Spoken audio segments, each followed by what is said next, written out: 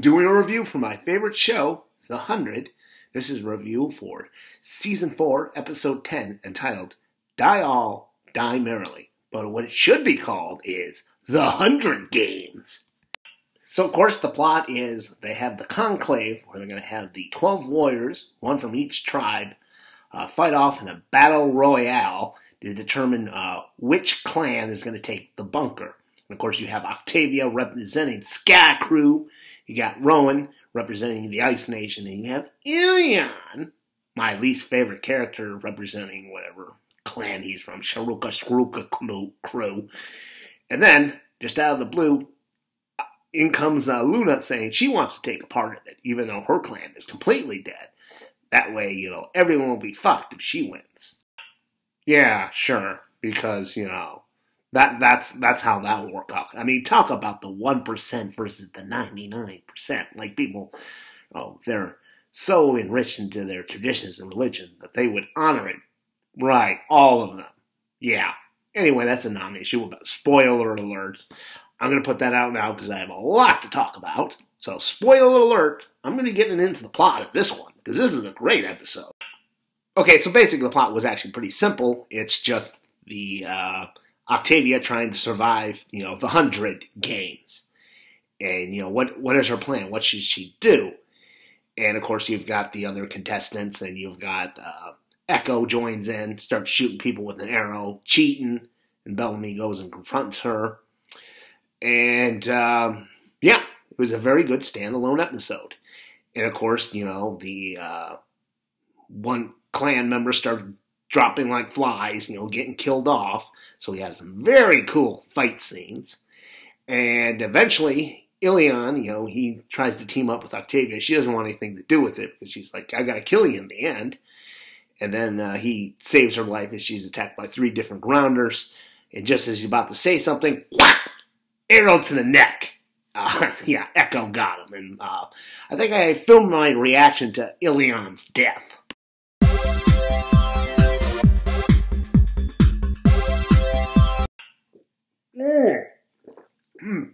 That was sweet. And I ain't talking about the rook. Yeah, I've said it before. Ilian, I couldn't stand him. He's just a whiny little luddite. And tonight he got it. When that arrow hit him, I was like, yeah, yeah. Of course, it didn't kill him right away. Octavia had to put him down, you know, a mercy killing, which was, uh, yeah, he's dead. So, yay. Not the only one. Of course, as the, you know, the game goes on, the contestants get whittled down to Octavia, Roan, and Luna. And um, Octavia and Roan decide they're going to team up and try to take Luna down. That way, at least one tribe and a lot of people can survive. But, you know, if things start, they get into it, and Luna's, you know, she's a tough cookie to beat because she was a Nightblood and whatnot.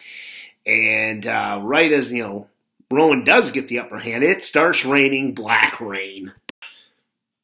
And of course, you know, the, the Black Rain starts burning Roan and Octavia. Octavia runs for cover, but Roan kind of stays there to finish off um, Luna. Of course, Black Rain has no effect on Luna, so she is able to take out down Roan. And wow, what a brutal death that was. I mean, she's stabbing him, and then he tries to get the upper hand, but then she twists him around, takes him, just throws him down into the you know the burning hot uh, water, and just puts his head underneath and just drowns him in, as you know he's being scalded alive.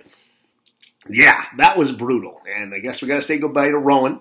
Pretty decent character. You know, nice backstory where he was exiled out of his tribe and then eventually rises to be king and uh, charismatic. Like, really good performance.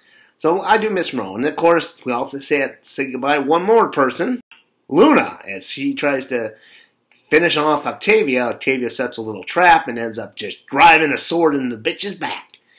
Um, you know, her death, I it was pretty cool.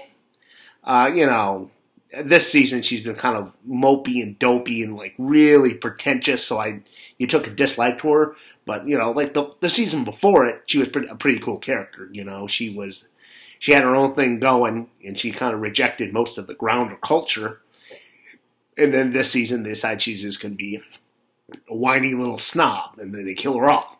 You know, her death wasn't as satisfying as Ilian.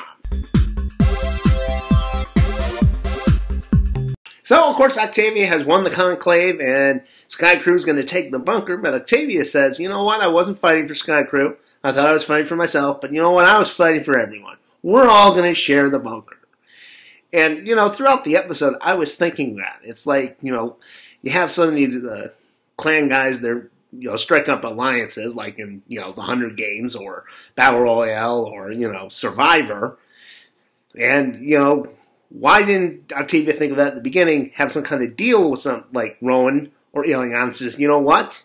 Let's uh, take out these other guys, and I'll tell you what, I'll make room for some of your people in the bunker. Not all of them, just some of them.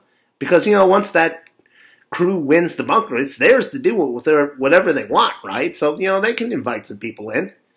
And then, you know, Octavia at the end says, you know what, that's what we're going to do. I do think it's kind of silly that you would invite everyone. And it's like Kate says, we can't fit everyone in there. We ain't got enough food. But, you know, you could take some of the kids you know, maybe some of the healers, some other people who, who like grow food, you know, useful people. Uh, with me, I would definitely get me some nubile women so we can reproduce. You know, just uh, you, you, you definitely. Yeah, the two of you, twins, that'd be nice, you know. Let's go uh, repopulate the human races. Let me get some condoms and we'll get right to it. But, of course, this plan went to shit because we find out Jaha and Clarke uh, pull the fast one on everyone, and snuck everyone, in, all of their people, all the Arkers, except for Octavia and Kane, into the bunker. And of course, we find this out because, you know, earlier Bellamy, after he had, you know, stopped Echo and, um, you know, pointed it out to Roan, who was pissed at her, uh, he got chloroformed, and now he wakes up in the bunker and finds out what they've done. It's like, oh, come on. And like I said, they left Octavia and Kane up there you know, the shitstorm that's going to cause. And oh, I just feel, you know, it's like they would have won anyway. That's the irony of it. But I thought it was a good ending, you know? And it was a very good episode. Like I said, I do love these standalone episodes, and this is another one. Last week they had, you know, with everyone's contemplating their own mortality. This one we get the 100 games, and Ilian gets killed off. And uh, that's uh, really all I got to say about uh, this week's episode. And I'm looking forward to the next week.